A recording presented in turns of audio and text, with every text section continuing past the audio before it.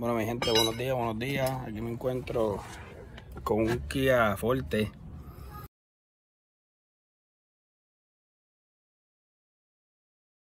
Eh, trajeron el eje que no era, so les voy a estar mostrando una fotito aquí.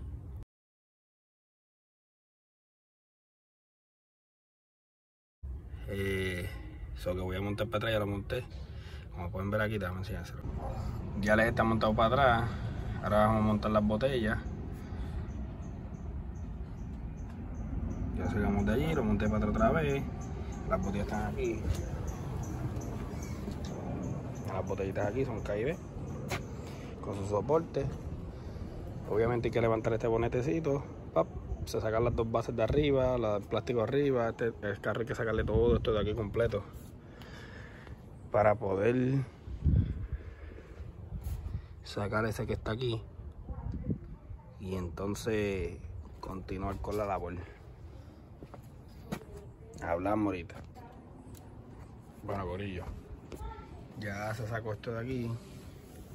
Hay que sacar estos tornillitos, que son tres. De este lado, igual. Entonces voy a empezar por allá porque como ya saca el eje, pues la botella ya está suelta. Lo que falta es soltar el par de cables.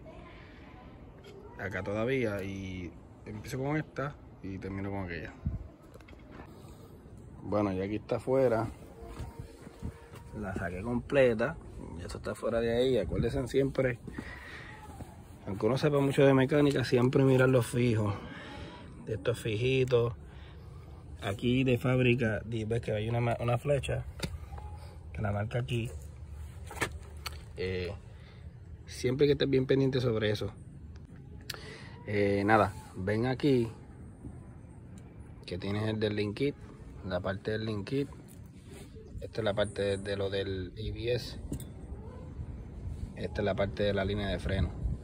Siempre, siempre, siempre, mírenlo lo más que puedan, que esté bien parecido. Porque después que tú montes todo este revolú, no es fácil volver a desmantelar para volver a montar para atrás. Que me ha pasado muchas veces, por eso se los digo. Eh, nada, voy a montar esto. Obviamente estoy con el teléfono, no tengo cámara para poder grabarme haciendo el trabajo. Hay que sacar el tornillo de aquí. Como pueden ver aquí, hay que sacar ese tornillito. Se va a marcar igual como viene de fábrica, para entonces sabe que todo esté bien ahí, todo esté alineado. ¿Ves? Como pueden ver aquí, mira la flechita y esa flechita va aquí. Si lo pueden ver aquí, con este tornillito obviamente está todo nuevo aquí su base sus tornillos la base de, de arriba que va conectada con, con la base. Ese, ese, se le llama el soporte. Acá en Puerto Rico le dicen base pero eso es el, el soporte de arriba de la botella. Este y nada voy a montar todo para atrás. Tan pronto esté listo pues truquito que yo hago lo que hago es que no los ajusto mucho aquí con estos comprimidores lo que hago es que lo ajusto solamente con las manos y aquí voy soltando. ¿Por qué? Porque cuando esto va soltando, aquí aprieta, aquí aprieta y el tornillo sale más rápido. Porque si tú ajustas mucho, en vez de soltar aquí, la botella se mueve y lo que hace es que no la suelta y usas la fuerza de lo que del sprint para poder soltar la tuerca y sale bien rápido. Igual viceversa para atrás. Que montar la tuerca, dejas de esos ajustaditos y él automáticamente ¡fup! aprieta la tuerca porque si no tiene que estar aguantando la botella y es medio chavo. A veces lo hace como quiera, pero es un poquito más rápido. Mira, no sé si lo pueden ver bien. Cuando yo hundo las botellas, esta la hundo fácil, la derecha, ¿ves? Y esta me cuesta hundirla.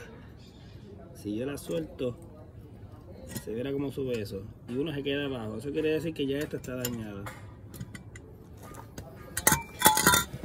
La mayoría de las veces ya carros que tienen más de 5 años ya las botellas lamentablemente ya se pierden su, su área de trabajo.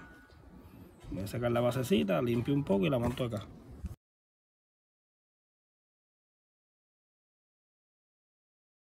Bueno mi gente ya está montada. Ya tiene su base vean por aquí.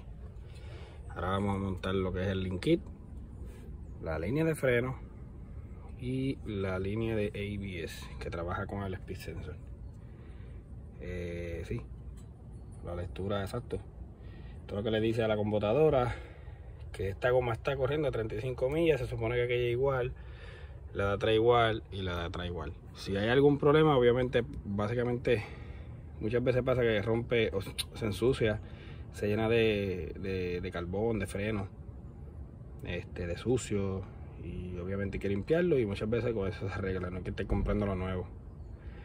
So, vamos a terminar de montarlo y dejarlo ready.